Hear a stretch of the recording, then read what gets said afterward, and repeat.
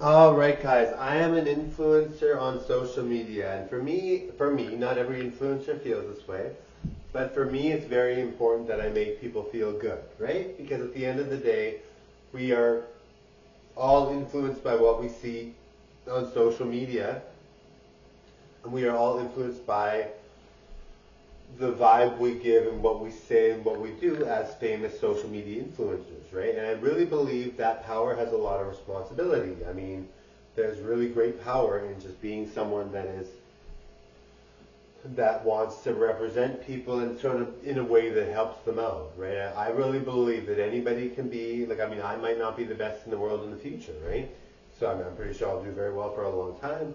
My whole life I'll probably be very good looking and very successful and very gorgeous and very fit. Uh, but obviously that that's not a guarantee, right? I'm pretty sure it will be, but you know I, I can't guarantee it, right? So that's why I'm always up to making sure that people feel good and people feel great because at the end of the day, maybe I'll be the biggest star starlet in the world, but maybe not, right? And maybe you'll be a bigger star starlet in the world later, right?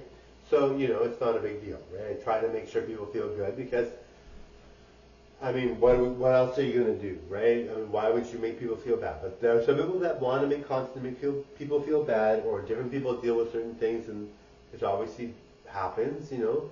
So, I mean, if people want to be that way, it's up to them, right? Not everybody wants to be the same type of creator, right? My type of creating is about making people feel really good. I want people to feel like they're living vicariously through me and also living the same type of life, whatever life they want to. Not everybody wants to live like somebody that's a supermodel, right? Anyway, thanks guys. Bye everyone.